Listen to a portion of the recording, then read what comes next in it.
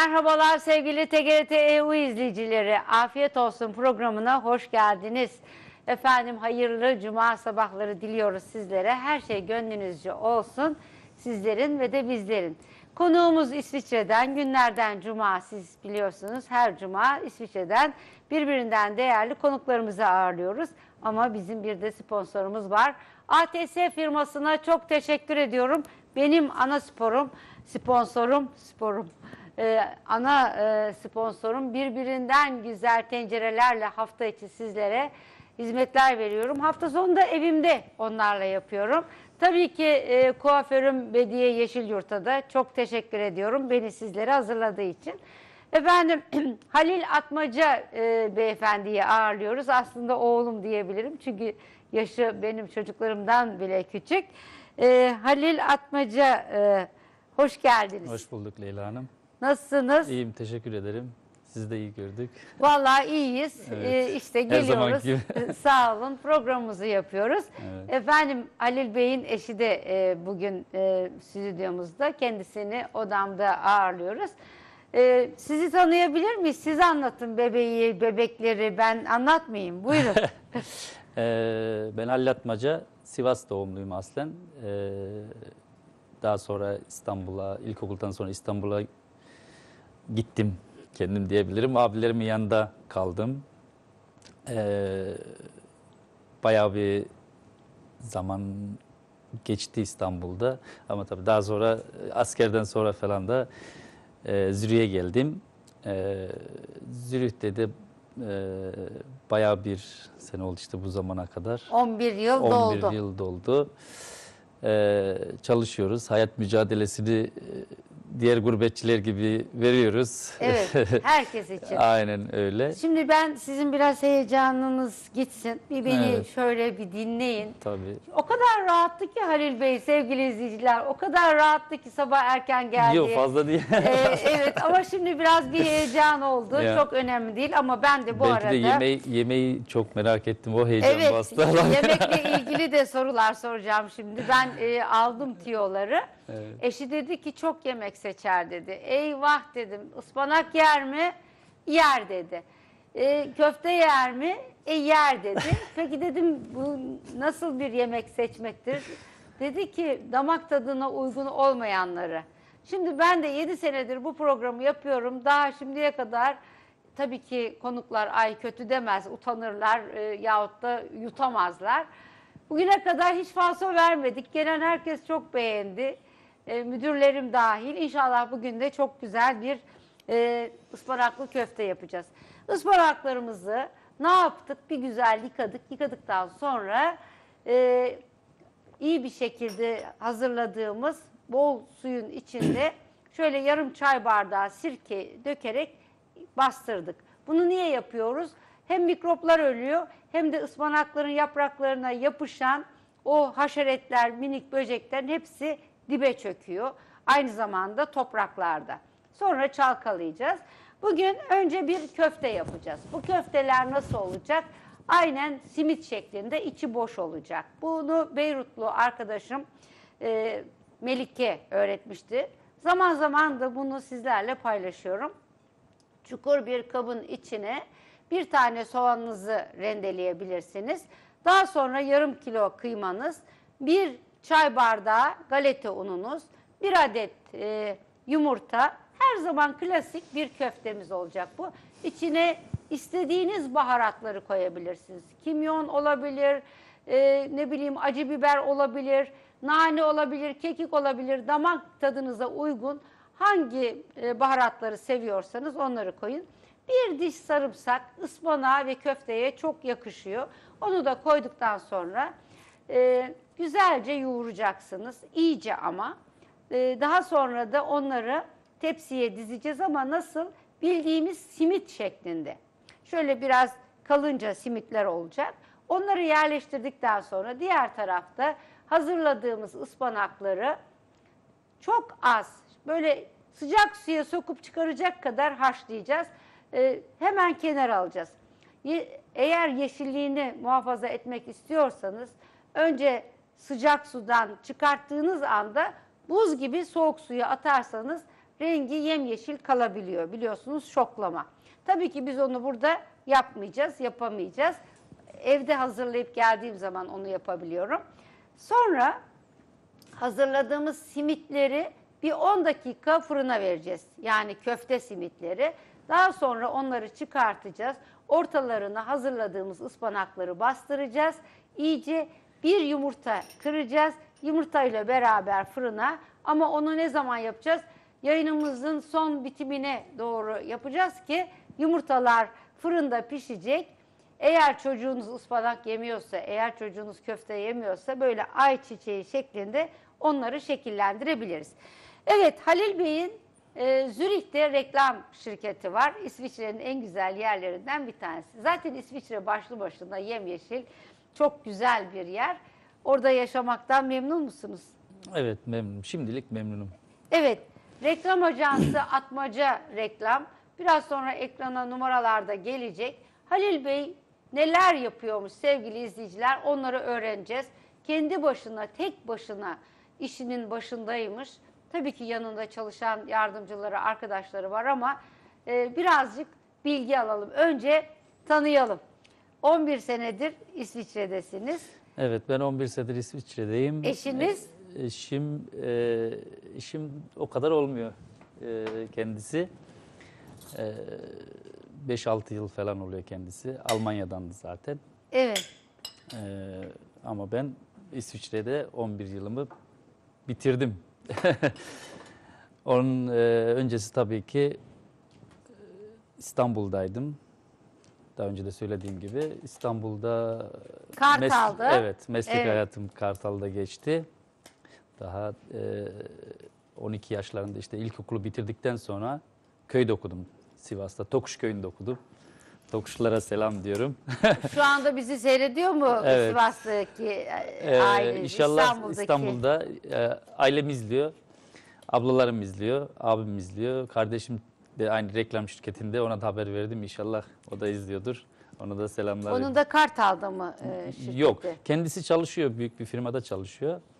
Evet. Ee, hala çalışıyor. Çok ısrar ettim. Ama tabii ileriki projelerim İstanbul'da da Evet, bir reklam reklam şirketi kurmak, kardeşimle beraber ona destek olmak. Yani işin ucunda gene İstanbul gözüküyor Ee, diyorsunuz. kopamıyorum. 2-3 ayda bir İstanbul'a zaten gidiyorum. Ee, ne ailemden kopabiliyorum ne de İstanbul'dan kopabiliyorum. Ay Allah ayırmasın zaten olun. vatanımızdan ayırmasın. Aynen teşekkür ederim. Ee, İki dediğim- çocuk babası olacaksınız. Şimdilik daha bir buçuk. Evet Ee, öyle. Ee, bir tane oğlum var. Allah de bağışlasın. yolda geliyor. Sağ olun. İnşallah bu da e, Allah e, kız nasip etsin. De, Öyle değiş- gibi gözüküyor. İnşallah. Hayırlısı neyse olsun. Aynen. Önemli olan Hayırlısı olsun, sağlıklı olsun diyoruz. Sağlıklı. Yani, evet. Evet. Evet biraz işinizden bahseder misiniz? Nasıl başladınız? Nasıl e, bu reklam panolarına gönül verdiniz? N- Nereden esin geldi? Ee, dediğim gibi İstanbul İstanbul'a geldiğim sıralarda tabii ki ilkokul ilk bitirmiştim ve köyde çoban olmayacağım dedim. Ee, okuyamadım. Okumak çok istedim. Tabii ki maddi sıkıntılardan dolayı köyde. Ya da bilmiyorum artık. Ee, o dönemde hatırlamıyorum çok fazla ama maddi sıkıntılardan dolayı tabii ki. Ee, köy çocuğu birçok yere giremiyor. Köyde Doğru, olduğunuz evet. için Evet. giremiyorsunuz. O yıllarda ben dedim hiçbir zaman çoban olmayacağım, köyde de kalmayacağım ve e, babam da izin vermedi aslında ama ben abilerimin yanına kaçtım diyebilirim. İstanbul'da yaşıyorlardı kendileri. E, Kartal'a geldik. E, tabii ki o sıralarda e, okumayan çocuk ne yapar? O dönemlerde 89-90 yıllarından bahsediyorum, 90 yıllarında. E, Evet. çıraklık yapar tabii ki. Ben de birçok yere çırak olarak girdim. Çal, e, hiçbir bir yerde çalışamadım yani belki bir hafta, belki iki hafta e, öyle çalıştım. Daha sonra hiç tabela bile e, ismini bile bilmediğim tabii ki köy çocuğusunuz. Çok şey bilmiyorsunuz, çok kelimeleri bilmiyorsunuz. Tabelacı diye Kartal'da, Kartal Stadyumu tam altında. E, öyle bir girdim içeri çırak aranıyor diye. Öyle bir başlangıç oldu oradan. Çizime de zaten benim yatkım vardı. Eskiden biliyorsunuz e, bilgisayarla herhangi bir şey yapılmıyordu. Her şey Tabii. Grafikerler hep elle. Evet, elle Evet. yapılıyordu. Fırça tekniği vardı, yağlı boya tekniği vardı. Girdik ve yani ilkokuldan beri benim çok e, şeyimdi çizmek, böyle hep çizerdim. E, Öyle Yani bir yeteneğim. resminiz güzel miydi? Evet, çok güzeldi. Hatta birebir böyle Türkiye haritasını bile çizerdim yani. O sebepten bile e, e, dayak yediğimiz bile olmuştu yani köyde kopya çektiniz diye falan. E, ondan sonra işte e, reklamcıda, tabelacıda çalıştım ve o kadar çok hoşuma gitti ki her şey elle yapılıyor, çiziliyor, boyanıyor, e, renkler böyle dünyam değişti sanki. Ondan dolayı ondan öncesi tabii ki çok fazla e, çıraklık yerlere girdim ve çıktım. Çünkü kafama uymuyordu ya da ağırdı. Çocuksunuz. Şimdi bakıyorum 12-13 yaşındaki çocuklara ben diyorum o yaşta gerçekten çalışıyor muydum falan. E, araba tamircisinde çalıştım. E, börekçide çalıştım. E, bir Yani sürü- girip çıkmadığınız iş kalmadı. Evet bu e, tabelacıya girene kadar yani diyebilirim. Bir seçinceye 20 kadar. tane çıraklık denemesi yapmışımdır yani. Ondan sonra tabii bu Ama bunlar hayat tecrübesi. Ne Evet, kadar güzel şeyler. evet e, belki o da bir 6 ay ya da bir sene gibi bir süreç içerisindeydi o girip çıkmam falan. Ondan sonra tabelacıda kaldım. Kaldım çünkü Çok sevdim. çok sevdiğim bir işte her şeyi elle yapıyorsunuz. Ee, fırçayla boyuyorsunuz. Boyamak çok güzel. Resim yapmak çok güzel. Ustalarımın hepsi ressamdı o dönemlerde. İbrahim Karataş vardı mesela kendisi e, rahmetli oldu diye duydum ama Allah rahmet eylesin. İnşallah öyle bir şey olmamıştır. O benim ilk ustamdır. Ee, buradan eğer ki ailesi de izliyorsa sevgi ve selamlarımı iletiyorum. Ondan sonra diğer başka reklamcıya geçtim tabii ki oradan yavaş yavaş ilerlediğim dönemlerde. Ama hep arayış içindeydim. Daha yenilik, daha iyi bir yer, daha yapabilirim? farklı şeyler yapan, e, reklam panoları yapan reklamcıları araştırıyordum. O, tabii Kartal'da çok çok fazla reklamcı olduğu için o, o iş çok kolaydı. Çünkü eğer ki biraz becerikliyseniz onlar zaten sizi buluyorlardı. Daha sonra Ersan Reklam diye bir şirkete girdim. O da Kartal aynı stadyumun diğer tarafındaydı. Orada da uzun yıllar çalıştım. Daha sonra e, tabii ki her iş yerimde olduğu gibi sorunlar oluyor. Ali Yağcı diye kendisine de buradan selamlarımı iletiyorum. Kendisi de çok büyük resimcilerden biridir. E, Ressam. Ressamlardan biridir. Abisi vardır Hıdır Yağcı. Onlar da e, Türkiye'de isimlere duyulmuş ressamlardır kendileri. Onların yanında çalıştım. Resim yaptım, tabela yaptım. Ee, çok çok sevdim bu mesleği. Tamamıyla artık e, işledi bana. Çıraklık dönemi bittikten sonra tabii kalfalık e, dönemlerim oldu. Ondan sonra ustalık kısa süre içerisinde ustalık dönemlerim oldu. 16 yaşında ustalık yaptım. Ee, Ersan Maşallah. Reklam'da evet e, 16 yaşında Ersan Reklam'da ustalık yaptım. O zamanlarda çok büyük işler yapmaya başlamıştık. 94-95 yıllarında daha yeni yeni e, işte bu folyo kesim makineleri çıkmıştı, plotterlar çıkmıştı. O teknikle çalışmaya başladık. Ee, kendisi de Ersan Bey de e, bayağı bir şeydi, e, teknolojiye ayak uyduran kişiydi. Makineleri aldı o şartlarda, o zorluklarla. O teknolojiyle yapmaya başladık. Tabii kısa bir sürede kendi şirketi de büyüdü. Biz de farklı şeyler e, öğrendik. Daha değişik panolar yapmaya başladık. Ama tabii ki o dönemde çok daha farklıydı. Her şey kendi el emeğinizle oluyordu. Çok fazla makine yoktu. Onun için e, daha zorluklarla öğrendiğimiz için daha iyi böyle belki de e, ustalık e, sergiliyorduk o dönemlerde öyle oldu. Yaptığınız her şey bir eser sayılıyordu. Elinizden Evet çok el emeği, güzel. Hatta nuru. yani şimdilik bile eski fırçayla yazılan tabelaları bulsam Türkiye'den buraya getireceğim yani o derecede. Çünkü gerçekten emek sarf ediliyordu. Akşamdan sacları asarsınız, yağlı boyayla boyarsınız, sabah gelirsiniz bir kat atarsınız. Akşam akşam üzeri alırsınız e, kitaptan harfleri büyüterek e, elinizle çizersiniz. Onları tekrar yağlı boyayla yazarsınız, gölgelerini atarsınız. O teknik gerçekten çok daha güzel bir teknik. Özlediğim bir teknikti ama tabii ki bazı şeyler teknolojinin artık. aynen teknolojiye uymuyor. Onun için de Evet. eee, Ben sizi dinliyorum bir yandan. Peki e, İsviçre'de bu hayata nasıl e, başladınız?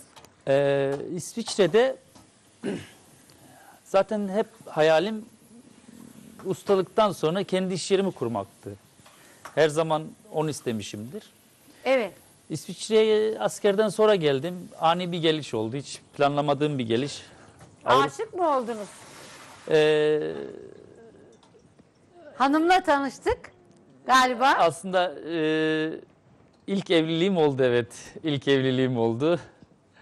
İlk evlilik yapıp geldim. Anlaşamadık. Kısa sürdü. Ondan sonra ikinci evlilik yaptık. Hayırlı uğurlu olsun. Sağ olun. Anlaşıyoruz, yaşıyoruz. Şu anda öyle gidiyor. Ama evlilik e, ithal damat mı diyorlar? öyle öyle Ha, geldim. Siz evet söylemek istediği şimdi Halil Bey. Evet, ben İthal damat. dedikleri gibi ithal ithal olarak geldik. Öyle oldu. Tabii çok fazla uzun sürmedi ama dediğim gibi hayalimde hep geldiğimden beri hayalimde hep e, bir reklam şirketim olsun. Kendim bir şeyler yapabileyim. E, tabii bu hayal bayağı bir uzadı. E, buraya geldikten sonra yani İsviçre'ye geldikten sonra tabii Almanca çok büyük problem problemdi. Herkes gibi. Tek Aynen sizin evet için değil. Ee, ve gelir gelmez de direktmen fabrikaya girdim. Bu arada iyi ekmek yaparım. 6 yıl Öyle fırında mi? çalıştım. Ha, şimdi bir İsviçre dakika. fırınlarında çalıştım. Öyle mi? İsviçre fırından ben Evet. benim çok değerli konuklarım oluyor. Çok güzel ekmek yapmanın. Şimdi ben zaman zaman e, haberleri açıyorum Halil. E, işte diyor ki ekmeğin içine bilmem ne kadar ne katarsan şu olur, bu olur. e, beyazlığını versin diye un. Madem o kadar güzel ekmek yapıyorsun öğret bakalım. Yok Ellerinin ö- estağfurullah öğretmek değil E, de Çok güzel ben- bir ekmek böyle kabaran, içi hamur olmayan. içi hamur olmayan hamurun gerçekten çok iyi yoğrulması gerekiyor. Bu bir kere ben diyorum herhalde yani bana kimse göstermedi ama biz fabrikada gerçekten ben hamur bölümünde de çalıştım. Yine dediğim gibi bakarak öğrendim her şeyi.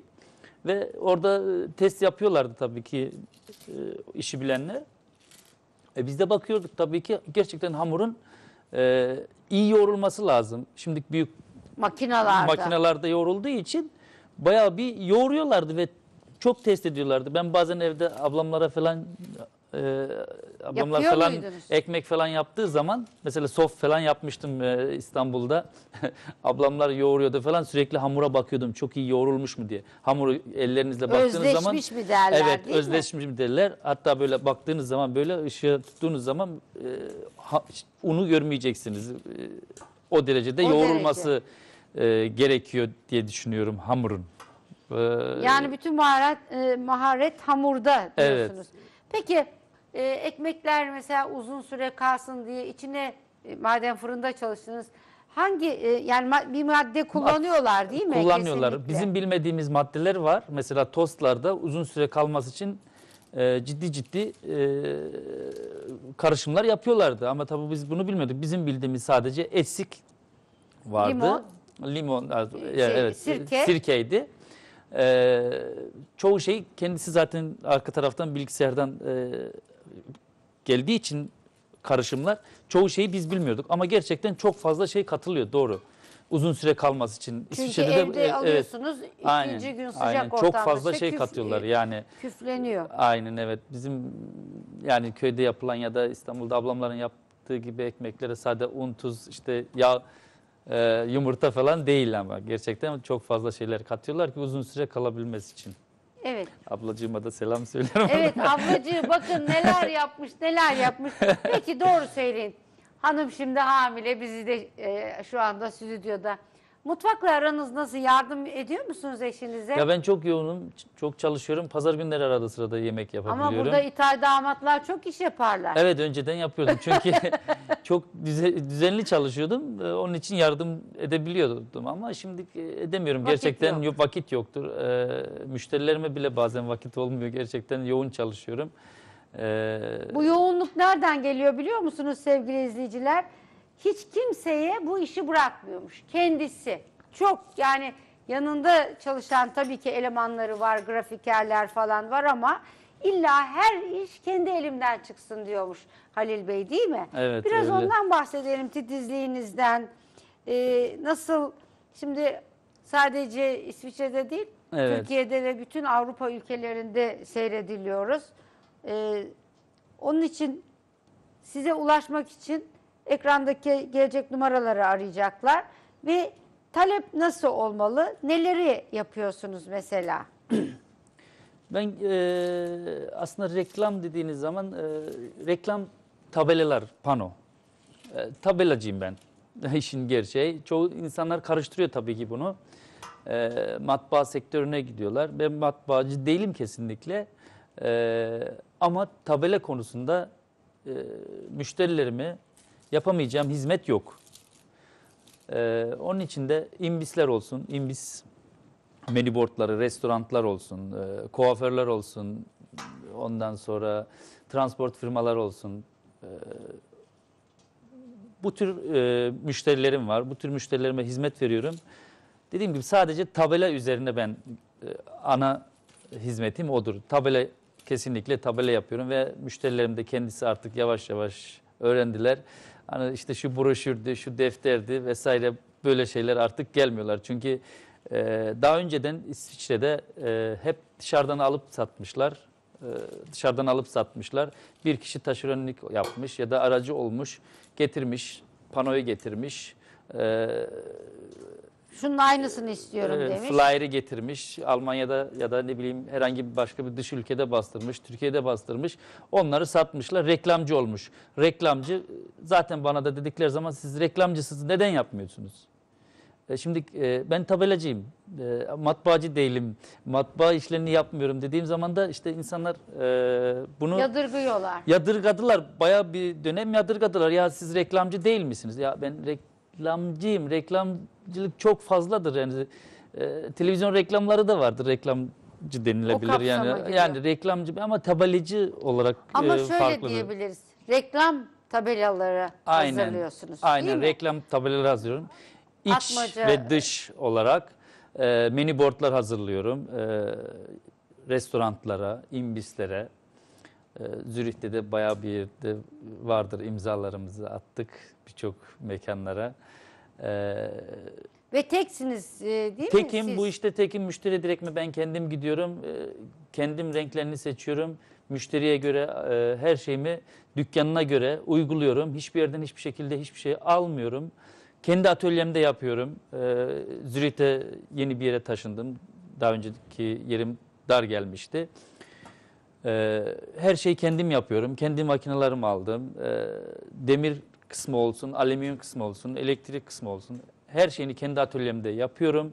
Müşterilerime sunuyorum. Yarın bir günde işte e, bir sıkıntı olduğu zaman da direktmen ben kendim bunlara müdahale edebiliyorum. Yani dışarıdan alınan şeyi getirip taktıkları zaman o aradaki kişi bunlara müdahale edemiyor.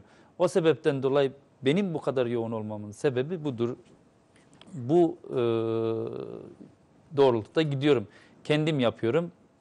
Kendim takıyorum. Kendim müşteriyle görüşüyorum. E, her şey kendimden çıkıyor yani. Onun için de işte başınızı kaşıyacak vaktiniz yok Aynen derler öyle. ya Onun böyle için de bir yemek de yapamıyorum yani. yemek de kusura bakmasın. yapamıyorsunuz. Eskiden yapıyor muydunuz? Eskiden yapıyordum tabii ki. e, damak tadım çok iyi olduğu için. Neler yaparsınız mesela? Anne yemekleri yapardım ben. Ee, Onu sizin- söyleyemem şimdi. Sizin Sivas'ta mesela arabaşı çok Ee, e, Arabaşı da bizim daha çok böyle benim annemden gördüğüm yemekleri yapardım. Ee, mesela kısır, an- ah, şu an annem Kısır mı? rahmetli oldu. Kısır köfte derler bizde. Allah İçli köftenin eylesin. sağ olun. İçli köftenin bir değişiği. Bunu hamur ve bulgurla yaparlar. Ee, ve daha sonra içine patates korlar. Ee, tokuşlar iyi bilir. evet, ee, yağda kızart yağda kızartılır ya da suda e, Haşlanır. haşlanır. Evet. Daha sonra e, salçalı bir sos yapılır. Çok güzeldir. Ben her gittiğimde ablam hazırlar zaten. Ama bakın Kendisi- şimdi dün bana telefon etmiş olsaydınız ben size onu burada yapardım. Çünkü ben zaman zaman onu yuvalama falan Öyle burada mi? yapıyoruz. İçli köfte yapıyoruz. Tabii canım burası da sadece e, şey değil. E, Ya aklınıza gelen her şey yapılıyor. Tabii ki inanılır. Evet, belki de hani sizin istediğiniz bir şeydi. Eşiniz e, en çok hangi yemekleri yapıyor? Damak tadım dediniz. Yemek seçiyor dedi eşiniz bana. Eşim çok fazla okuduğu için e, ben de evlendikten sonra yemek e, yapmaya başladı diyebilirim gerçekten.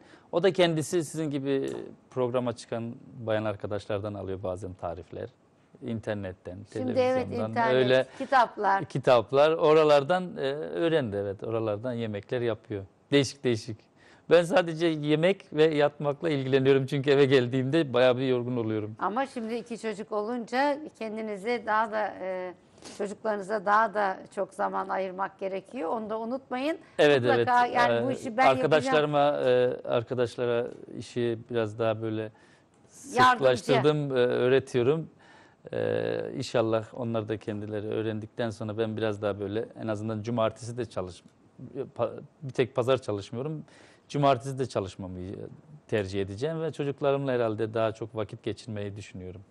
Peki şimdi diyelim ki e, ben geldim işte bir hastane açacağım yahut bir eczane Evet. açacağım.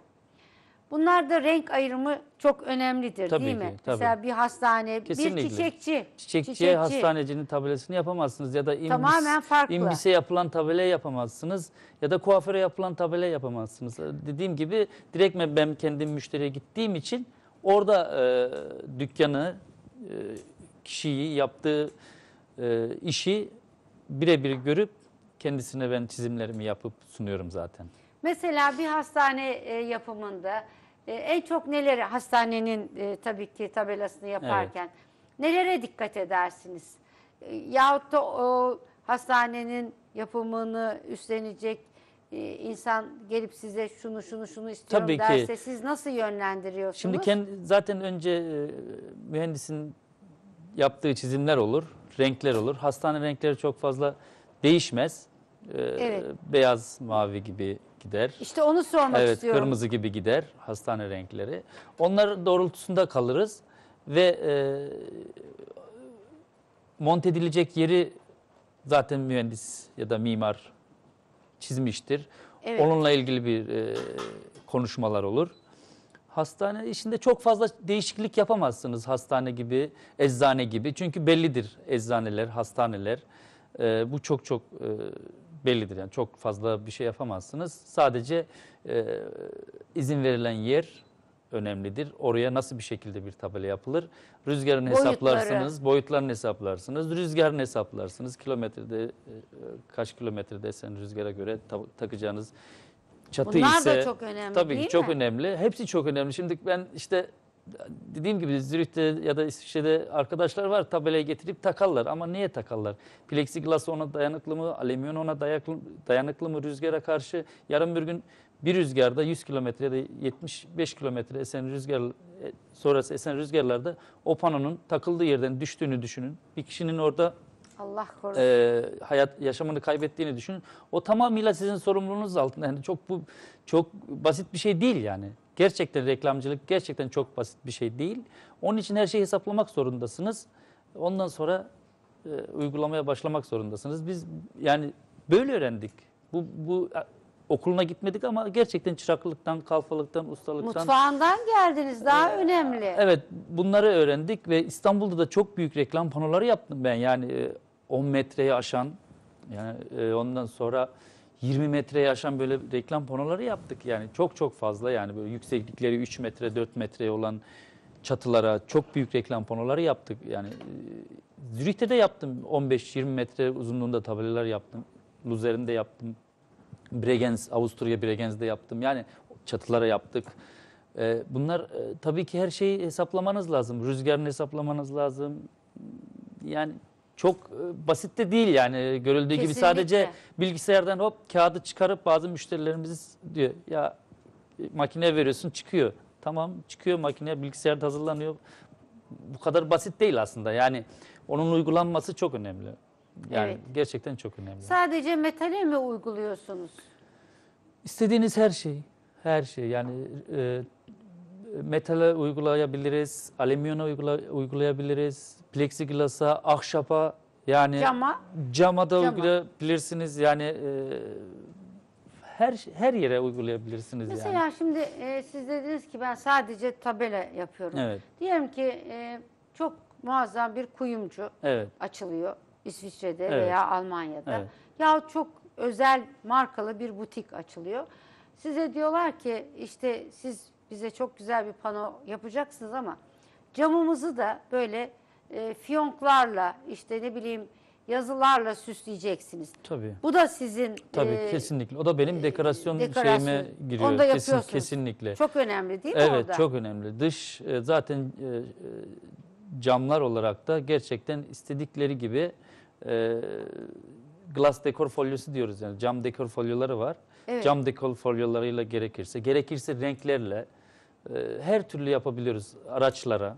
Mesela Evet. sadece e, işte camlar değil, e, araçlara. Evleniyoruz mesela. Ya mesela arabaya, Araba süsü. arabaya mesela evleniyoruz. Spesiyal bir resim istiyorlar. Kesinlikle hiç problem değil. Ya da evlendiler e, kendileri yatak odalarına 3 metre, 2 metre bir e, güzel bir istiyor. resim istiyorlar. Onu da e, o tür Yapalım. şeyler de kesinlikle yapılıyor yani, yani. duvar kağıdı kullanmak istemiyor da çok güzel evet, beğendiği e, bir kesinlikle yani. O Onu da da o da tabii ki spesiyal arkadaşlar isteyen olursa yapıyorum yani. çok özel bir şey. Mesela benim kendi oğlumun odasını e, teyzesiyle beraber biz kendimiz fırçayla süsledik yani çok da güzel oldu yani Evet. kendi fırçam sanatımı olarak El- konuşturdum. El, e, işi Evet, yaparak. Ne evet. kadar güzel. Yani bir tek panoyla sınırlamak da e, Değil evet. yanlış olur. E, dijital Çünkü- baskılar falan işte ona giriyor zaten. Evet. Dijital baskılara giriyor. Dijital baskı konusunda resim olarak gerçekten her türlü resmi yapabilirim. Restoranlar olsun. E, dekorasyon olarak da kullanabilirim. Komple bir duvarı istedikleri gibi, istedikleri res- resmi, istedikleri uygulamayı Evet. e, yaparım yani. O, onlar hiç problem olmuyor zaten. Onlar işin en güzel yönü belki de değil mi sizin için süsleme sanatı? Evet dekorasyon, iç dekorasyon, dış dekorasyona giriyor zaten. Yani dediğim gibi sadece e, yapıp takmakla da bitmiyor yani gerçekten. Bunları da yapmak gerekiyor. Bunlar da işin içinde zaten. Bizim işin içinde. Bu yıllardır da öyleydi yani. Öyle de gidecek bu reklam tabelalarında, reklam sektöründe. Evet. Yaptığınız iş hem çok zevkli hem çok güzel değil mi? E, Yani biraz Tabii. belki e, Çok ben dediğim gibi hayatım yani ben e, o işten ben kopamam. Yani burada kopsam başka yerde kopamam. Burada ben fırında çalıştığım e, dönemde 5 yıl fırında çalıştım. 5 yıl boyunca hayalini kurduğum bir işti. Yani sürekli hayalini kurduğum, mesleğimin öleceğini yani unutacağım korkusu çok oldu bende. Ama tabii ki evde ben e, bilgisayarımı hiç eksik etmedim, programlarımı hiç eksik etmedim. Evde e, zaten ufaktan başladım ben bu işe. İlk evde baskımı yaptım. Ne odamda. Ondan sonra e, bir makine aldım. Tekrar bir 20 metrekare bir ev diyebileceğim bir abinin evinin altında başladım Zürih'te. siz tamamen bu işin mutfağından böyle küçük bir tezgahla Yok ben hazırcı değilim. her şeyi kendiniz Aynen, yaparak yani aynen. Her şeyi kendim yaparak e, zor şartlar altında hem fabrikada çalıştım hem e, barlarda çalıştım geceleri hafta sonları E, ve geçimimi sağlamak için de mecburdum E, bir şeyler yapmam gerekiyordu çünkü olmuyordu. Olmuyordu Avrupa'da tek başına tek tabanca olmuyordu bir şeyler yapmam lazımdı. Ee, en güzel yapacağım şey de kendi mesleğimdi. Öyle bir başladım. Sağ olsun abilerimiz vardı işte tanıdığımız. Muhittin abimiz sağ olsun Zürih'ten. Kendisi makinasını sattı bize. Ee, ve o vesileyle o kapıyı açtı. Biz de gidiyoruz o kapı açıldı ve inşallah hayırlısı olur. inşallah, inşallah Şu her anda şey inşallah gönlünüzce İyi gidiyor olur. gibi 20 metrekareden 200 metrekareye yükseltebildik 5 yılda. Maşallah. Tek Çok başımıza. Ee, bundan sonra ne olur artık e, çalışmalarımla, İnşallah daha da iyi olur. çabalarımla bilmiyoruz artık. Orasını da Allah bilir diyelim. Sizde bu e, çalışma isteği olduğu müddetçe her şey olabilir. Evet. Yani hiçbir şeyi göze almadan her yerde ve en önemli şey nedir biliyor musun? Bazı insanlar e, Halil e, yaptıkları işleri söylemekten utanırlar. Evet. E, bunu bir ar olarak kabul ederler. Evet. Ama ben şimdi seni milyonlarca insanın karşısında tebrik ediyorum. İnsanın kendine özgüveni varsa Evet. bunları saklamaz. Hepimiz köy çocuğuyuz. Hepimizin Kesinlikle. anne nereden geldik? Hepimiz Kimse hiçbir E, zaman unutmamalı zaten. asla yani bunu hani Ee, geçmiş olmayanın geleceği hiçbir zaman olmaz zaten. Olmaz. Evet. Olmaz. Hiçbir zaman olmaz. ama sorarsanız bazı insanlar hepsi saraydan gelmişlerdir. Hanedandandır. Yok. Ee, ve siz hani bu işin okuluna gitmedim ama mutfağında çok değerli hocalarla çalıştım Evet, evet. Bu çok çok önemli. Bir zamanlar biliyorsunuz şimdi ismini zikretmemek lazım. Öyle bakanlar vardı ki e, kabinede hepsi bu işin mutfağından çıkmışlar. Evet. Tekstil üstüne almış yürümüş uçakları bilmem nesi öyle. Ama hepsi de takdire şayan Ya. e, davranışlarda bulunmuşlar. Evet. Yok bir kuruşum bile benim e, dışarıdan e, hiç kimseden yardım amaçlı olmadı. Hep kendim yaptım. E, makinalarıma yatırdım, malzememe yatırdım ve e, bu zamana kadar da kendi çabalarımla geldim diyebilirim yani. E, Ve hep ya, çalışmak diyorum artık başka bir şey demiyorum yani. Çalışmak, disiplin. e, Peki çocuklarınızın da Allah kısmet ederse şimdi iki çocuğunuz olacak. Çocuklarınızın da bu işi yapmasını ister misiniz? Ee, önce okumasını istiyorum. Çünkü ben okuyamadım. Ee, okumak çok istedim. Ee, önce okumasını istiyorum. Ama tabii ki de e, bu işi yapmasını istiyorum. Çünkü Hobi olarak başlar hobi babasının olarak yanında, başlayabilirler. e, okulunda okulunda başlayabilirler. Çünkü e, bu reklam sektörü gerçekten çok önemli bir sektör. Türkiye'de benim çalıştığım kan kardeşim bile e, şu anda kendisi büyük bir fabrikaların fabrikanın e, ortaklarından biri ve kendisi de benim gibi çalışkan bir arkadaşımdı. Aynı köylüyüz bir de. E, şu anda çok başarılı gidiyorlar. Gerçekten gurur duyuyorum onunla da.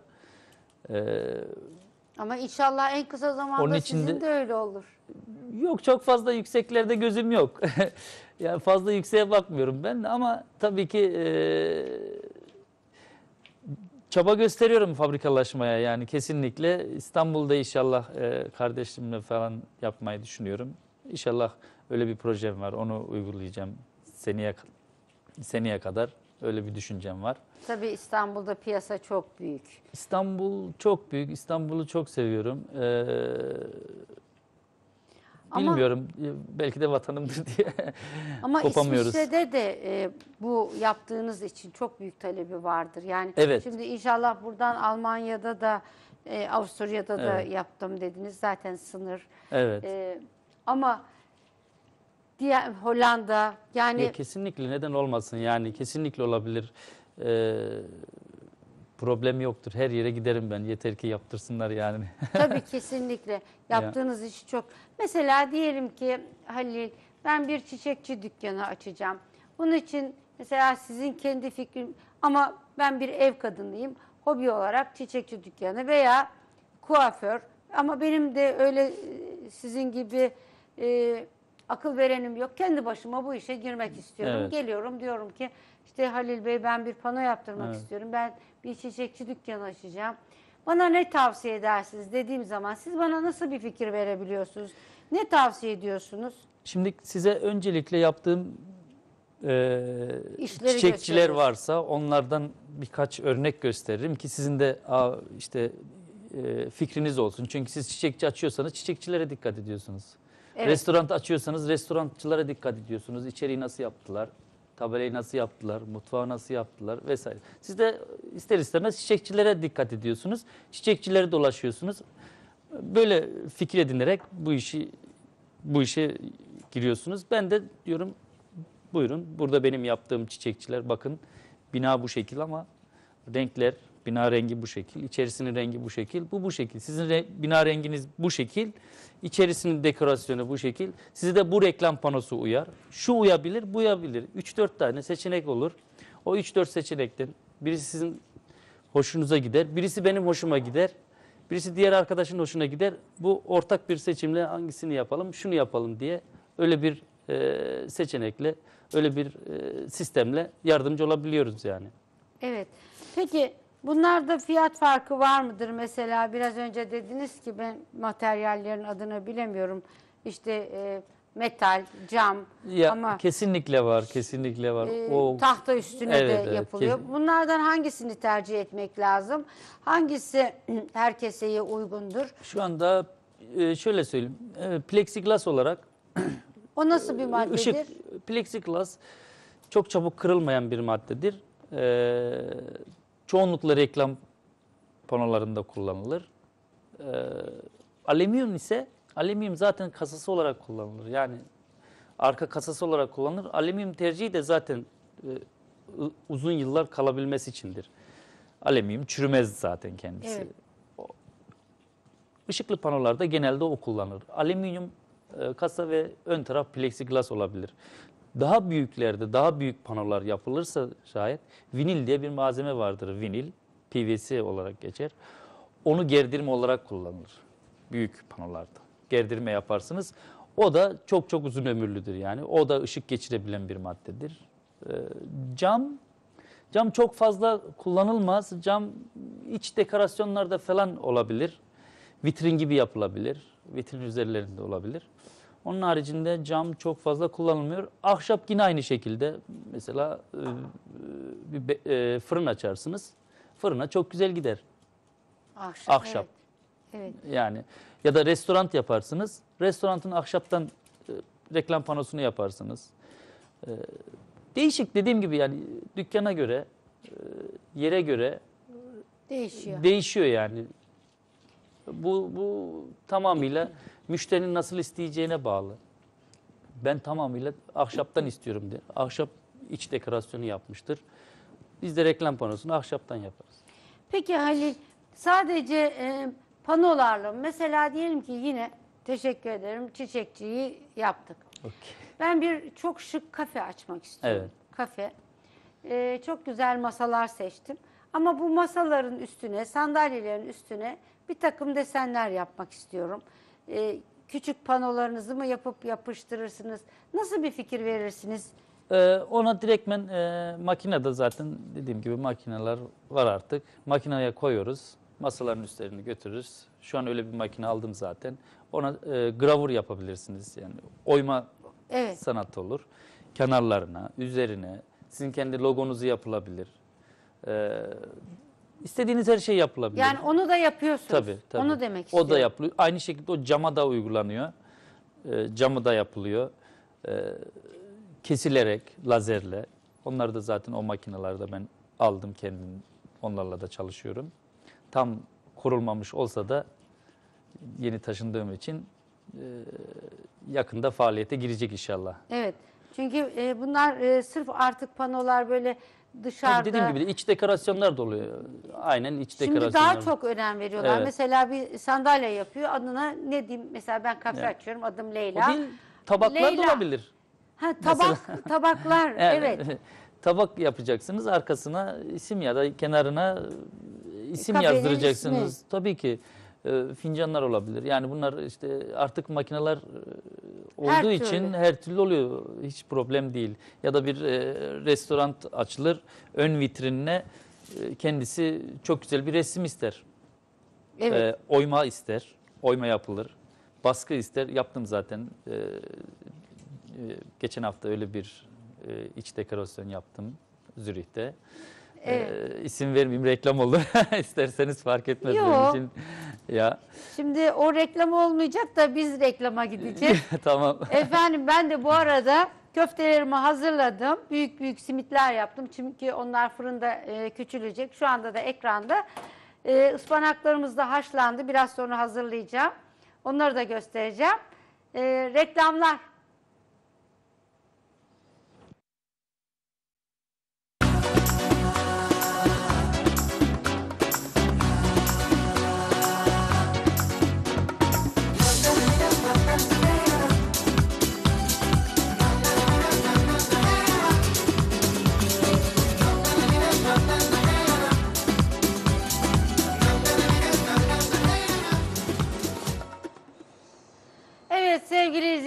Reklamlardan sonra tekrar bir aradayız. Televizyonu geç açan izleyicilerimiz için hemen hatırlatalım.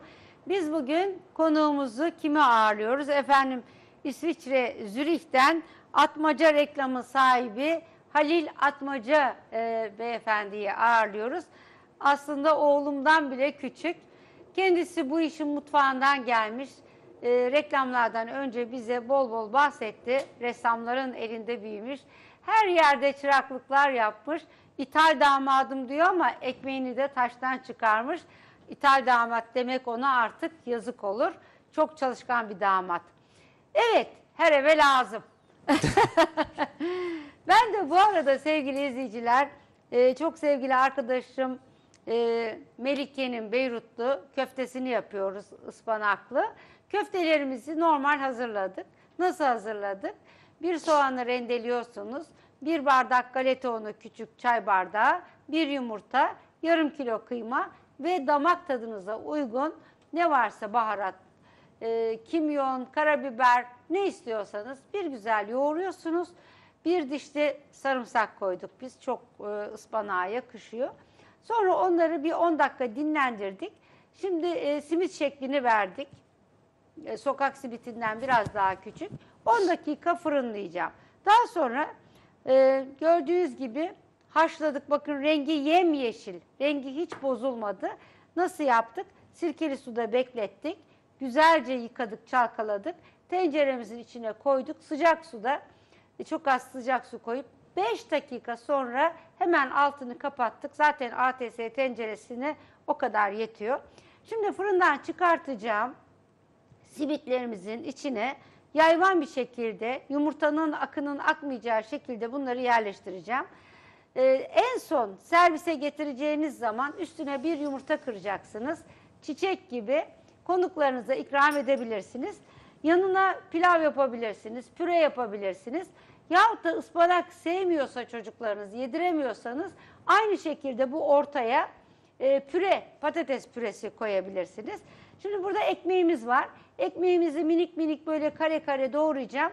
Onları da şöyle hafif birazcık yağ gezdireceğim, sıvı yağ. Fırına vereceğim. Biraz kıtır kıtır olacak. Yanında yiyeceğiz. Efendim reklam panolarının e, sahibi dedik. Her şey kendi elinden çıkıyormuş Halil Bey'in. En büyük özelliği hiç kimseye yaptırmaması, her şeyi kendisi yaptırması. Bakalım reklamlardan sonra eksiklerimiz neler varmış Halil Bey'e soralım. Buyurun. Ee, Şimdi ben aklıma gelen bütün soruları size yönlendirmeye çalıştım.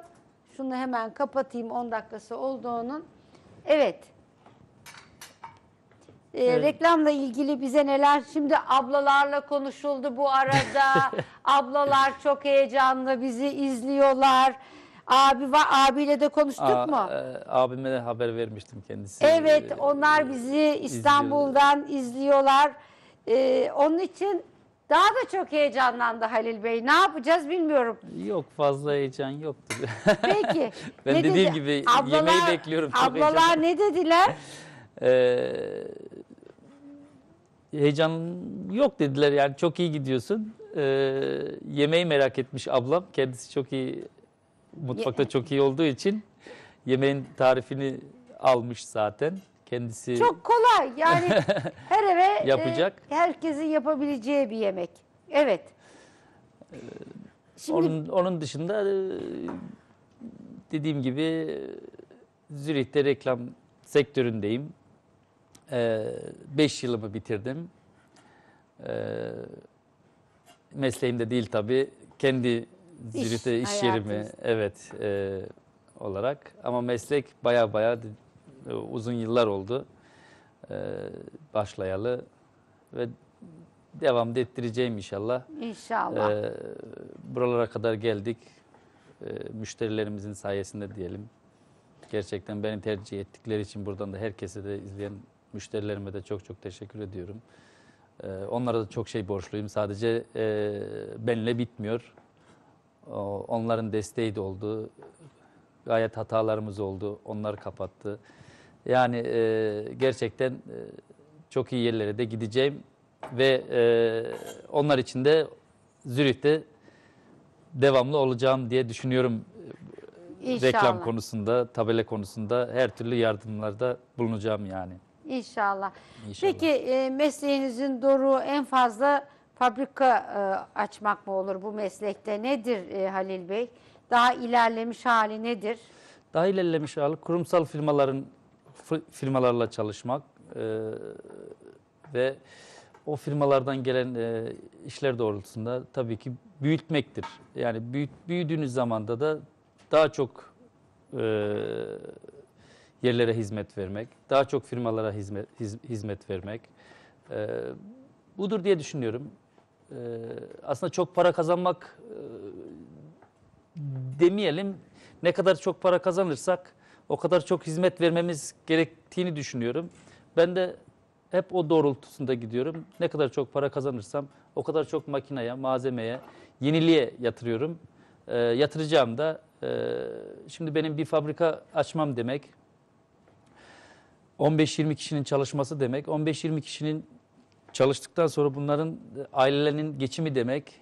Ee, Çok büyük bir Ya kesinlikle sadece para kazanmak değil, e, topluma da faydan olması demektir. E, zaten topluma faydan olmadıktan sonra hiçbir şey o- e, gerekmez, olmaz. Yani kazandığınız paranın da bir e, değeri kısmeti olmaz diye düşünüyorum. Onun için de ben düşüncem fabrikalaşmak, ileride birçok kişiye e, ekmek kapısı açmak, Avrupa'da olur, Türkiye'de olur. Ee, hiç fark etmez. Ee, ama dediğim gibi birçok insana ekmek kapısı olarak inşallah hizmet vereceğim. Hizmet vermeye de çalışacağım atmacı reklam olarak. inşallah. Şimdi bu ekmek nasıl bir ekmek diye soracağım sizi biraz güldüreyim. güzel mi? Şimdi Güzel, aslında Güzel, bu e, çorbaların yuvarlak, yanına e, güzel Evet. kabarmış. Güzel mi kabarmış? Evet. Bakın güzel kabarmış. Şimdi onun üstüne birazcık yağ gezdireceğim e, sevgili izleyiciler. E, bunu daha küçük keserseniz ve de bir kavanoza koyup saklarsanız çorbalarınızda e, güzelce kalmış ekmeklerinizi e, mutlaka bu şekilde değerlendirin fırına vereceksiniz. Arzu eden buna mesela kekik, kırmızı biber, e, nane harmanlayabilir. Yahut da e, e, sarımsak. Sarımsakla eğer evinizde yalnızsanız, eğer ıspanak da varsa sarımsakla da bunu böyle harmanlayabilirsiniz. Biz de birazcık daha isterseniz şöyle renklendirelim. Ee, dediğim gibi bunları böyle tıkır tıkır kıtır kıtır yapıp e, kavanozda saklayarak çorba içiyorsunuz. Tarhana çorbası. Hanım getir bir iki kaşık da şundan diyorsunuz. Hanım getiriyor. Onu da koyuyorsunuz. Güzelce yiyorsunuz. Peki şimdi bu sektörde daha fazla büyümek istemiyorum. Yani bu alanda yeteri kadar açılmak e, biraz külfet diye düşünüyorsunuz. Çünkü o zaman işin başında olamam diye de mi bir korku var acaba? Ee, hiçbir şey yapamam yapamamam diye. Çünkü ben gerçekten atölyeye girip tabela yapmak, e, makinenin başına geçip kaynak yapmak e, isteyen bir insanım. Onların arzusuyla yaşadım. Onları yaparak büyüdüm ben. Onları yarın bir gün tabii büyük e, fabrikalaştığınız zaman onları yapamayacaksınız. E, artık e, masa başında herhalde olursunuz. O da çok fazla bana uymuyor. Çünkü ben hareketi seven insanım. Evet. Sürekli hareket etmem lazım. Sürekli çalışmam lazım. Bir şeyler yapmam lazım. E, çok fazla masa başında otura, oturmayı seven bir tip değilim. Hiper, hiperaktif denir size herhalde biraz değil öyle, mi? biraz öyleyim evet. Evet çalışmaktan hiçbir zaman zarar Kesinlikle gelmez. zarar gelmiyor. Daha iyi oluyor. Ve Evet. Bazen çok çalışmam bile sorun oluyor diyebilirim yani. O hanımlar için, hanımlar için sorun olabilir. O da şöyle ki, e, hanımın da bir programı vardır. Eşini bekler evde. Bizim simitler küçüldü. Onun için yanlarını açıyoruz sevgili izleyiciler. Zaten bazıları da açılmış. Şöyle siz simitlerinizi biraz daha büyük yapın. Çünkü yumurta kıracağız e, üstlerine. Onun için simitler biraz daha büyük olabilir. Zaten bazılarında yanları açılmış. Evet hanımlara da vakit ayırmak gerekiyor. Her şey iş değil yani. Tabii ki kesinlikle ona katılıyorum. Ona katılıyorum ama e, müşteri de hanım dinlemiyor. Ne yapalım? Geleceğe dediğin zaman, söz verdiğin zaman mecbursunuz söz, sözünüzü Sözünüzde tutmaya. tabii Ya, ki mecbur. Doğru söylüyorsunuz. Öyle. Peki şimdi aldığınız bir iş, bir tabela asmalı veya ayaklı. Evet. Ee, ne kadar zamanda teslim ediyorsunuz? Bunun bir teslimat süresi var Tabii mıdır? ben müşterilerime en kısa zamanda e, teslimatını yapıyorum. O da nasıl oluyor? Müşteri tamamıyla okeylediği zaman rengiyle falan. e, tabii ki müşteri ben e, şöyle söyleyeyim.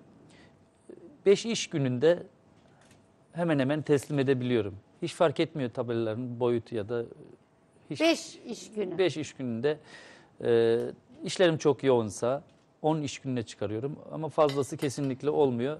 Tabii ki bazı dönemlerde aksaklıklar oluyor. Bu nedir? Hani makineniz bozulur. Herhangi bir e,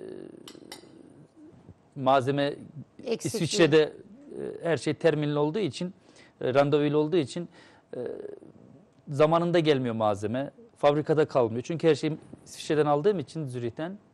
Onun Evet. için o sıkıntılar bazen oluyor.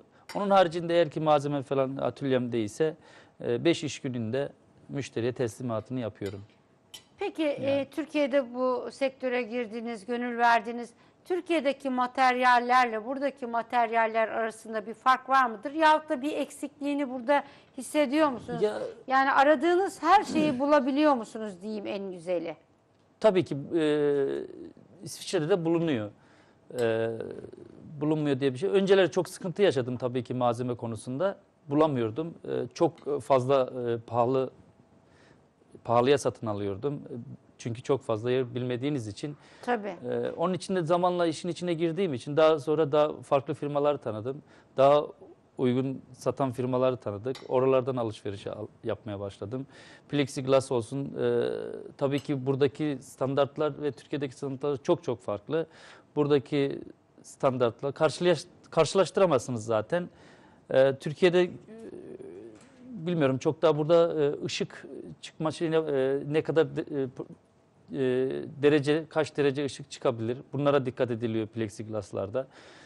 E, alüminyumda e, çok fazla fark etmiyor diye düşünüyorum. Alüminyum zaten çok fazla sorun da olmuyor. Zaten paslanmayan bir malzemedir. Ama plexiglas e, tamamıyla Avrupa standartlarına göre kullanıyorum. E, kullanmaya da devam edeceğim yani. Evet. Türkiye'de de mesela hep vardır. Ee, siz bir şey almak istediğiniz zaman işte derler ki yerli malı mı istiyorsunuz yoksa Avrupa e, Ya- ya- e, ya. yabancı marka Evet. mı? Ne, nedense bizim Türkler yerli malını çok tercih etmezler de hemen e, yok İthal e, malı. ithal Evet. olsun, iyisi olsun. Buna katılıyor musunuz siz bu sektörde? Ya, bu sektörde e, evet katılıyorum. Doğru mudur? E, yani şöyle söyleyeyim. Şimdi folyolar vardır. Araç folyoları vardır. Türkiye'de metrekare metresi 3 dolara aldığınız şey burada 30 dolar ise bunda gerçekten büyük bir fark vardır. Ne vardır? E, arabanın üzerinde tuttuğu e, zamandır. Türkiye'deki 3 yıl tutarsa buradaki 7 yıl tutuyor. Ya da 1 yıl tutarsa buradaki 5 yıl tutuyor, tutabiliyor.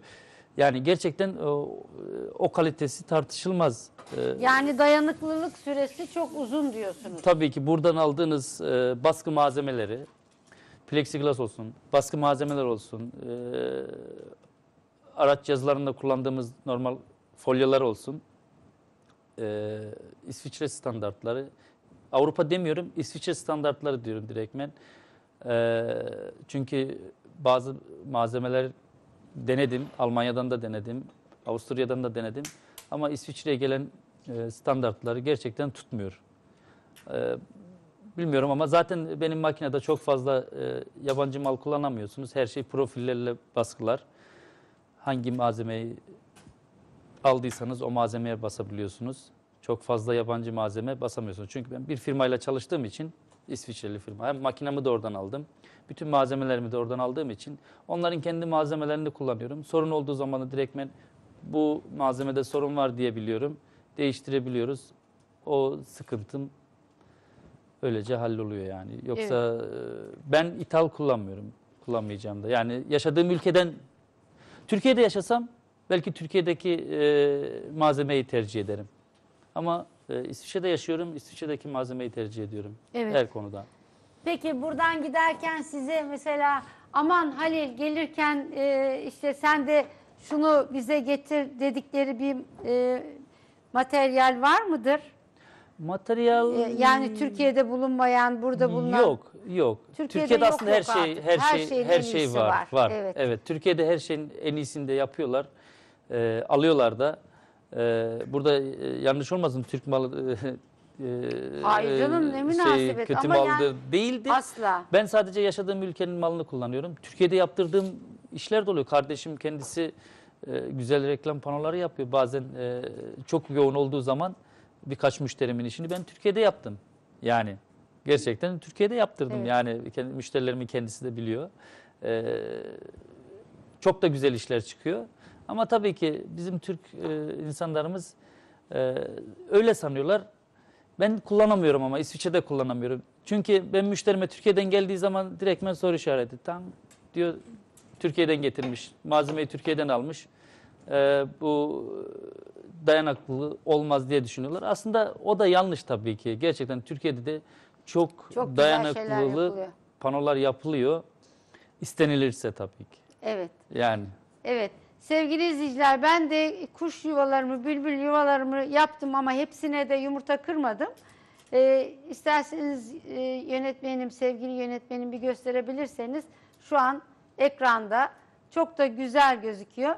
Siz bunu yalnız her şeyini hazırlayacaksınız. Misafirlerinizi masaya aldıktan sonra yumurtalarınızı kırıp getireceksiniz. Onlar fırında hemen pişiyorlar. Hepsine yumurta kırmadım ben. E, Daha sonra da kırma şansına sahibiz. Ee, peki bu işin garantisi var mıdır? Mesela Vardır. şimdi siz e, yapıyorsunuz, bir makine alıyoruz. İşte diyor ki iki sene garantili. Evet. 90 euro daha fazla verirsen garantisi 5 yıl. Sizin garanti kapsamınız nedir? İşte yine aynen malzemeye dayan- dayanıyor bu olay. Dediğim Evet. gibi malzemeyi siz e, arabaya yapıştıracağınız malzemeyi 5 yıllıkla 7 yıllık 7 yıl ya da 10 yıl arasında alırsanız siz müşteri rahatlıkla diyebilirsiniz. Ben bu işe ben 7 yıl garanti veriyorum. Renginin Evet. gitmemesine, e, arabanın üzerinde duracağına. Plexiglass da aynı şekilde. E, ışıklı panolara gelirse e, şöyle söyleyeyim bütün müşterilerimin yaptığım reklam panolarının e, tek sorunu ne olur? 2 yıl sonra belki lambası gidebilir ışıklı panolarda. Evet. Lambası gittiği takdirde zaten ben onu ücretsiz olarak e, aradıkları zaman ücretsiz olarak ben kendim hallediyorum zaten. O da ışıklı panolarda da demek ki ben yaşadığım sürece hep garanti kapsamına giriyor. E, montajlarda olsun, montajlarda kesinlikle garantim vardır. Onun hiç- işte 3 yıl sonra düşecek diye bir garantisi olmaz. Ne zaman düşerse. Mecburen e, düşmemesi için gayret göstereceksiniz. O şekilde takacaksınız ki e, öyle bir sorun olmasın Evet. müşterinin. Şimdi- Renklerde sorun olur sadece. Olursa ona garanti verirsiniz. Renk baskıda dersiniz ki 5 yıl. O da yine İsviçre'deki aldığınız malzemeye göre. Çünkü ben oradan 5 yıllık alıyorsam müşteriye ben 5 yıllık garanti veriyorum. 5 yıllık garanti çünkü orada yazıyor. 5 Evet. yıl garanti diye ben de 5 yıl veriyorum. Siz de e, kullandığınız firmaya aynı şekilde duyuru yapma şansına Aynen, sahipsiniz. aynen, aynen. Biraz önce şimdi ben tabii pano ile ilgili fazla bilgim olmadığı için ışıklı pano dediniz. Evet. Demek ki bunlar bir de ışıklandırılıyor. Tabii. Nasıl e, bir sistemdir bu? Işıklı pano e, şöyle söyleyeyim. e, Önceden floresanlarla aydınlatılıyordu. Bildiğimiz floresan e, Evet. Lambalar. Ama yağmur yağdığı zaman falan ne oluyor? Yok, İşte kasaları çok önemli. Kasaları e, dışarıda Kontak yapıyorsun. Tabii ki dışarıda yapmama e, dışarıya montaj ettiğimiz tabelaların ona göre de kasalarını yapıyorsunuz. İçten kaynak oluyor. Kaynaklarını yapıyorsunuz. E, e, nasıl söyleyeyim? Elektrik çıkan bölgeler gerçekten İsviçre standartlarına göre çıkması lazım. Silikonlanması lazım dışarıdaki panoların. Onlara dikkat edilmesi gerekiyor. Onları da kendiniz mi yapıyorsunuz? Tabii. Elektrik aksamını Elektrikçi, da. elektrik e, arkadaşım var. O kendisi yapıyor elektriklerini. Montaj yerinde falan kendisi arkadaşım kendisi yapıyor elektriklerini. Tabii ki ben de e, yapıyorum yani o sıkıntı yoktur çünkü. yani onu da öğrendiniz. E, kesinlikle yani o o da şimdi Türkiye'de tabelacısın dediğiniz zaman her şeyini yapmanız lazım. Bir, Evet. E, kalıpla ilgili bir tabela olur. Harfler özel olması lazım. Mecbursunuz kalıp yapmaya. Yani Doğru. medefeleri üst üste yap, çakıp biz kalıplar yapardık yani eskiden yani elimizle makineler bile olmazken tabii şimdi CNC makineler var makineler yapıyor ayrı Her bir konu şey ama artık, her ya, şey. yani o birçok şey dediğim gibi e, baya bir çok yönlüdür yani. Kapsamlı, Evet, çok evet. kapsamlı. Evet. E, şimdilik de aydınlatma ile ilgili dedik. Şimdilik de LED teknolojisi var. Çok az da elektrik harcayan ELD diyoruz. evet. biraz- Televizyonlarda da var o değil mi şimdi? LED TV diye geçiyor onlar ama tabii ki biraz daha değişik. Bu şerit halinde kullanılır e, bu ledler. Şimdilik onlardan yapıyoruz. Müşterilerimize onları tercih ediyoruz. Bu da e, şöyledir. E, daha az enerji e, harcıyor. Çünkü 12 voltla çalışan bir lambadır. Biraz Gece pahalıdır. gündüz açık kalabilir. Biraz pahalı- pahalıdır ama e, Enerji sarfiyatı evet daha az. e, tabii ki e, Elektrikten kazanıyor. Kesinlikle, kesinlikle. Elektrikten kazanıyor müşteri. Yoksa hani görüntü e, kesinlikle aynı olur. Hiç görüntüde herhangi bir e, sorun olmaz. Sadece müşterinin e, ay sonu ödeyeceği faturayla ilgili biraz in- inmiş olur İn- şey. Doğru, evet. doğru. Evet. yani Vallahi e, teknoloji ne kadar ilerledi, Evet. nereden nereye elle yapılan, çizilen bütün işler artık bilgisayara döküldü sevgili izleyiciler. Eskiden annelerimizden, anneannelerimizden böyle küçük kağıt parçalarında yemek tarifleri alırdık. Oradan oraya, oradan oraya saklardık. Yine dua kitapları öyle. Şimdi internete basıyorsunuz. Her şey tıp da çok ilerledi bu arada biliyorsunuz. Sevgili izleyiciler Fatih Dağdelen 19 Ocak'ta Beauty Line'de olacak. Aklıma tıp e, dedik geldi. Sakın unutmayın. Şimdiden hemen Beauty Line'ı arıyorsunuz ve e, bütün e, randevularınızı alıyorsunuz. 19 Ocak Beauty Line'de olacak Doktor Fatih Dağdelen. Bizim yumurtalarımız Sadece 2 dakikamız kaldı. Yayınımıza da 5 dakika kaldı. En son neler söylemek istersiniz? Bir kere ben sizi tebrik ederim. teşekkürler. E, kesinlikle bir daha kendinize ithal damattım ben demeyin. Gerçekten demeyin. Bunu da canlı yayında söylüyorum. Siz dört dörtlük bir aile babasısınız. Teşekkür ederim. Ekmeğini taştan çıkarmak diye buna derler herhalde. Ee, okumamamız, okumamamış olmanız sizi hiç üzmesin. Böyle bir mesleğe sahip olmuşsunuz. İnsan bilek kuvveti, beyin, e, çok güzel bir evlilik yapmışsınız. Nice insanlar var ki iki üniversiteyi bitirmiş, iş bulamamış, e, meslek yapmadığı için pişman olanlar var. Ve de e, yine de bu işi yapıp okuldan geldiği için, bu sizin yaptığınız için o kadar becerisi olmayan insanlar var. Tebrik ediyorum size. Teşekkür ederim. Sağ olun. Ve İsviçre'de teksiniz. Biraz önce ekranda numaralarını Halil Bey'in aldınız sanıyorum sevgili izleyiciler. Herhangi bir e, pano hazırlatmak isterseniz, eğer bir restoran açmak isterseniz, bir kuaför salonu, bir çiçekçi, bütün hepsini A'dan Z'ye e, atmaca reklam olarak Zürih'ten e, Halil Bey'i bulabilirsiniz. Kendi ellerinle çıkıyor. Şimdi selamlarınızı alalım Halil Bey. Buradan İstanbul'da e, ablalarıma selam söylüyorum. Selam ablacığım. Pazara geliyorum. e, yeğenimin doğum gününü kutluyorum. Esra'cığım doğum günü kutlu olsun öpüyorum.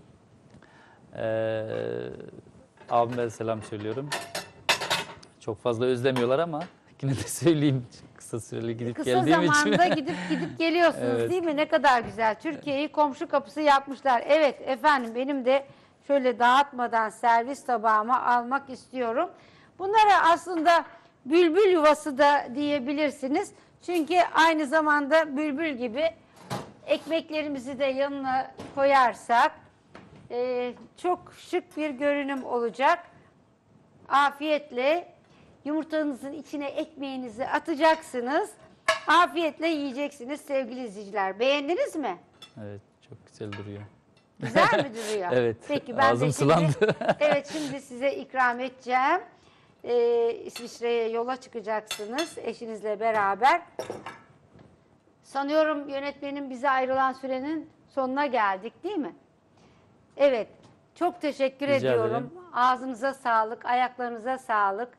Eşinize de selam verelim buradan. Adı neydi? Asuman, Asuman Atmaca'ya da e, buradan kucak dolusu sevgiler veriyoruz. İşlerinizde başarılar diliyoruz. Her şey gönlünüzce teşekkür olsun. ederim. Buradan Reşit arkadaşıma da e, bana desteklerinden dolayı, yardımlarından dolayı teşekkür ediyorum. E, uzun süredir yanımda çalışıyor, destek veriyor bana. Teşekkür ediyorum. Az kalsın unutuyordunuz değil mi? Yok unutmadım da tam böyle Telaş iyi, oldu. tam böyle iyi bir zaman ayarlamak istedim. Şimdi siz de bir tane daha e, Halil yetiştiriyorsunuz o zaman. İnşallah. İnşallah. Evet. E, ayaklarınıza sağlık. Teşekkür Tekrar ederim. teşekkür Leyla ediyorum. Hanım. Çok sağ olun. Efendim bize ayrılan sürenin sonuna geldik ne yazık ki ama bugünün yarını var diyemiyorum. Pazartesi var. Sizlere çok güzel bir hafta sonu diliyorum. İnşallah her şey gönlünüzce olur. Sağlıkla kalın, hoşça kalın, afiyet olsun programında kalın. Allah'a ısmarladık.